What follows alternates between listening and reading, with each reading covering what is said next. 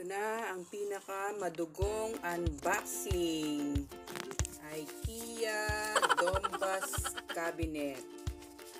Yan na po ang pinakamura sa mga cabinet ng IKEA. Kaya lagi, yan lagi ang aming binibili. Actually, pang tatlo na yan. Naisipan ko lang bumili para yung mga konting kalat eh, may cabinet na. Actually, nakatulog ako nung natapos ng aking asawa. Kaya, ito na siya.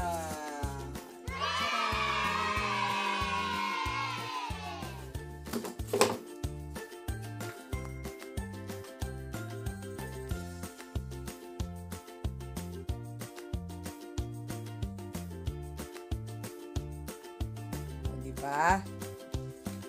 Buksan natin ang cabinet.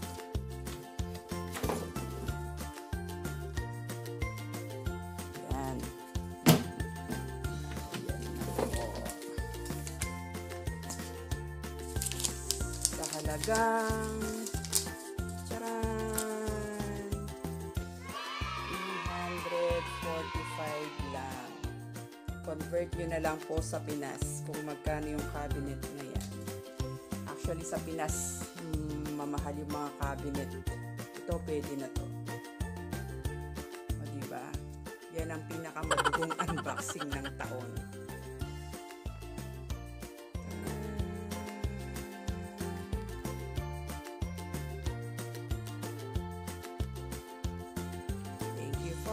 cheese.